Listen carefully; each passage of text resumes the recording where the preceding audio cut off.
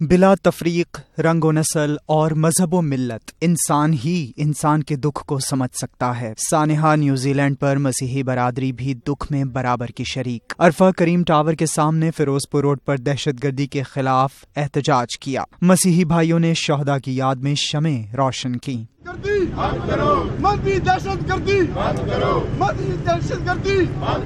شرکا نے New Zealand کے افسوسناک واقع پر قتل و غارت گری پر گہرے رنج و غم کا اظہار کیا۔ سانحہ کی شدید الفاظ میں مذمت کی۔ ہم لوگ مذمت کرتے ہیں اس دہشت گردی کے خلاف جو کہ نیوزی لینڈ میں قصہ ہوا ہے۔ اس کی وجہ سے ہم سارے یہاں پہ اکٹھے ہوئے ہیں کیونکہ دہشت گردی کسی بھی ملک میں کسی بھی جگہ کسی بھی علاقے میں ہو غلط غلط ہی ہے۔ لوگوں کا کوئی مذہب نہیں ہوتا۔ ان کا نہ کرسچن مذہب کا کوئی ان میں تلق ہے، نہ مسلم تلق ہے۔ ان کا کوئی مذہب نہیں ہوتا۔ شرکا کا مزید کہنا تھا کہ دہشت گردی کا کوئی مذہب نہیں۔ کیمرامین یاسر رفیق کے ساتھ حسام اجمل، لاہور نیوز۔